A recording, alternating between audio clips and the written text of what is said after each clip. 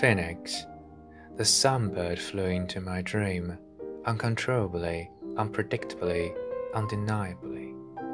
Grasps of smoke, coldness of ashes, embassies of darkness, tunes of the panpiper. They've ignited the flame of symbolic Sunday. It is I who have seen its magnificent wonders, existing amid its blessed realm without fear. Time crumbles the flame of passion, and it was the phoenix that God sent to me.